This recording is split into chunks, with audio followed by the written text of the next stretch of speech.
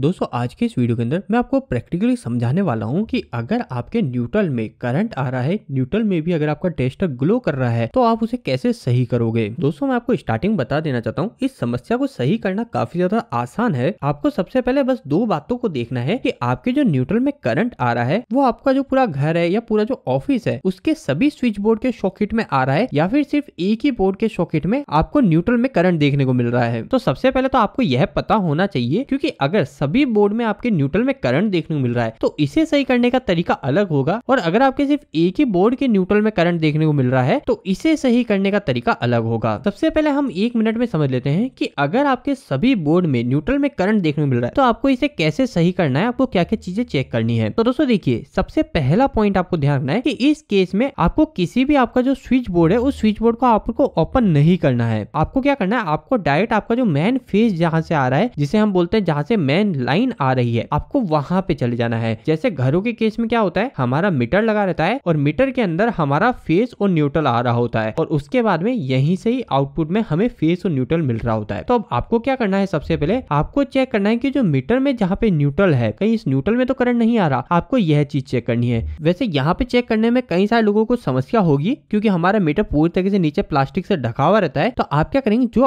आपका main panel है आप वहाँ पे चले जाएंगे उस मेन पैनल में जहाँ पे सब सबसे पहले हमारा जो मीटर से न्यूट्रल और फेस आके जुड़ रहा है आपको उस जगह जाना है और आपको देखना है जो हमारा मेन न्यूट्रल है जो मेन न्यूट्रल वायर है जो मीटर से आ रहा है इसमें आपको टेस्टर लगा के चेक करना है इसमें आपका करंट आ रहा है या नहीं आ रहा अगर इसमें भी आपका करंट आ रहा है उस केस में आपको क्या करना है आपको आपकी एमसीबी कहीं ऑन तो नहीं है जो आपकी मेन एमसीबी है ये कहीं ऑन तो नहीं है आपको इसको ऑफ कर देना है और ऑफ करके वापस से चेक करना है अगर मेन एमसीबी को ऑफ करने के बाद में बंद करने के बाद में भी आपकी मेन लाइन के न्यूट्रल में आपको फेस देखने को मिल रहा है तो अब यह जो भी समस्या है है यह आपके इलेक्ट्रिशियन के लिए नहीं है क्योंकि यह समस्या हमारे घर से नहीं आ रही यह हमारी सर्विस लाइन से ही आ रही है तो आपको क्या करना है जहां से भी आपको इलेक्ट्रिसिटी डिस्ट्रीब्यूट हो रही है आपको वहां पे कंप्लेन कर देनी है लेकिन अगर आपके पास में दूसरा केस हो रहा है आपकी जो मेन एमसीबी है इस मेन एमसीबी को ऑफ करने के बाद में मेन लाइन का न्यूट्रल है यहाँ पर फेस आना बंद हो गया है जब आप सिर्फ इसे ऑन करते हैं तभी आपका फेस आता है तो उस केस में आपको क्या करना है तो दोस्तों इस केस में बस एक ही समस्या होती है वो होती है कि हमारा जो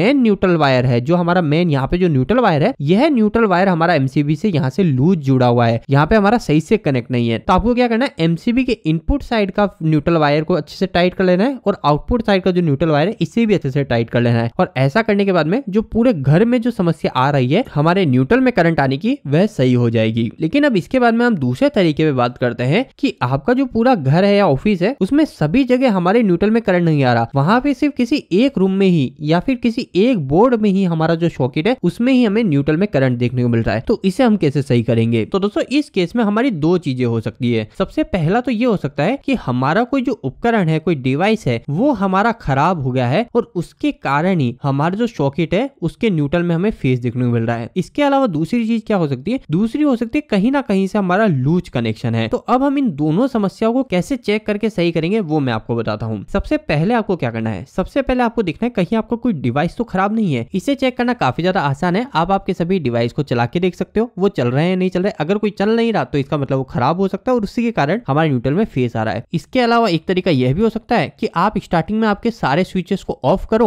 ऑफ करने के बाद में देखो आपके न्यूट्रल के सॉकेट में फेस देखने को मिल रहा है नहीं मिल रहा अगर नहीं मिल रहा है तो उस केस में क्या करेंगे आप एक एक करके स्विच को ऑन करेंगे अब जैसे आपने पहले स्विच को ऑन करा फिर वापस से आप जाके टेस्टर को लगा के देखो अगर आपका अभी भी टेस्टर नहीं चल रहा फिर आप दूसरे स्विच को ऑन करो फिर जाके टेस्टर चेक करो जिस भी स्विच में जैसे तीसरे स्विच में अगर आपका टेस्टर ऑन हो जाता है तो तो हमें पता चल गया जो हमारा तीसरा लोड है जो हमारे तीसरे स्विच पे जो लोड जुड़ा हुआ है उस लोड में हमारी कोई ना कोई समस्या है या फिर ऐसा भी हो सकता है कि हमारे इस तीसरे लोड को हमारा न्यूट्रल प्रॉपर नहीं मिल रहा है तो आपको यह पता चल गया कि अगर किसी डिवाइस से या फिर हमारे बोर्ड के किसी स्विच को ऑन करने के बाद में हमें न्यूट्रल में करंट देखने को मिल रहा है तो उसे कैसे सही करेंगे लेकिन दूसरा एक और चीज आपको ध्यान रखनी है कई केसेस में क्या होता है हमारे जो बोर्ड है इस बोर्ड के हमारे जितने भी स्विच है यह सभी स्विच हमारे पहले से ही ऑफ होते हैं अब ऑफ होते हैं तो भी हम जाके देखते रखते हैं सॉकेट में तो भी हमारे न्यूट्रल में हमें करंट देखने को मिलता है तो यह समस्या कैसे सही होगी तो दोस्तों इस समस्या को भी सही करना काफी ज्यादा सिंपल है आपको सिंपली बस एक काम करना है हमें क्या करना है हमारा जो स्विच बोर्ड है जिस बोर्ड में हमें ये समस्या देखने को मिल रही है इसमें हमारा न्यूट्रल कहाँ से आ रहा है आपको वो देखना है क्योंकि न्यूट्रल में करंट आने की समस्या न्यूट्रल में फीस आने की समस्या तभी होती है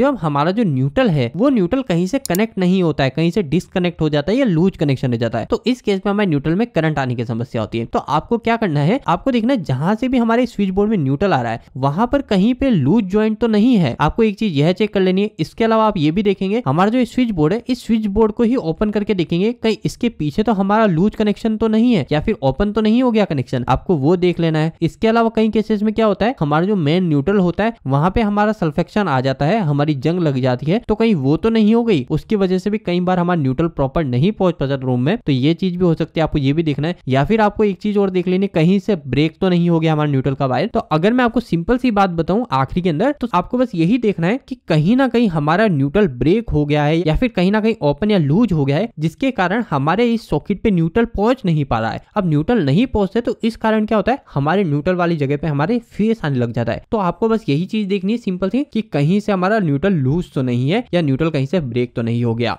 बस दोस्तों इतना ही करके आप आपके घर में या ऑफिस में जो भी न्यूट्रल में करंट आ रहा है इस समस्या को सोल्व कर सकते हैं उम्मीद करता हूँ हूँ आज का छोटा सा वीडियो आपको पसंद आया होगा आपको आज का ये वीडियो कैसा लगा प्लीज हमें एक लाइक करके जरूर बताएगा इसी तरीके की और वीडियो देखने के लिए आप हमारे चैनल को सब्सक्राइब कर सकते हैं और अगर आपने ऑलरेडी सब्सक्राइब कर रखा है तो आप बेल आइकन जरूर दबा दीजिए आज के लिए इतना ही धन्यवाद